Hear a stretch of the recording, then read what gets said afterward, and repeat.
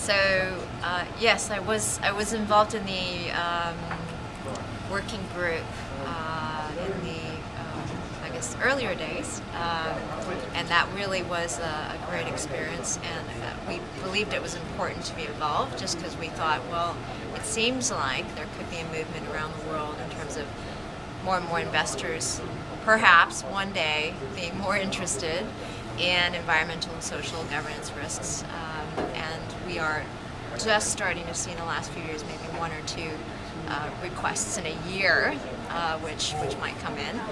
But we felt you know the momentum is coming. You see an increasing number of investor surveys. So the CDP, you have the Dow Jones Index, FTSE for Good, uh, all of those also coming in full force, and, and many more coming as well.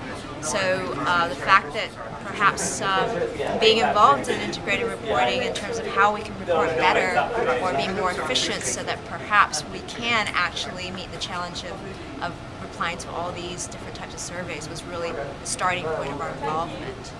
Uh, now we are involved with the technical task force um, and and uh, we are a piloting company, so we've actually, as a company, piloted um, the guideline, and through this experience, actually, we've gained a lot more than I think we, we ever imagined, part of it was really uh, the fact that this participation in itself has really made it also to board level, uh, not just awareness, but focus. Uh, you know, this is always being reported to the board. They always know, you know, we have our sustainability report and of, you know, why it's important.